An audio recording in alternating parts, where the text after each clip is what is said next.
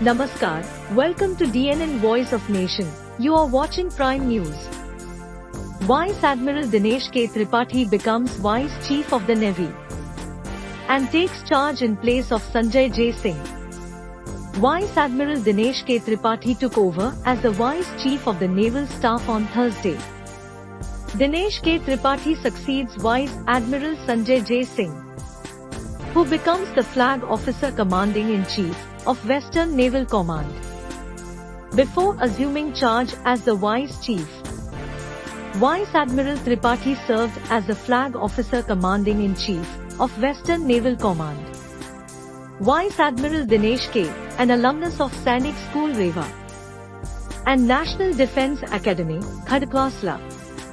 Tripathi was commissioned into the Indian Navy on 1 July 1985.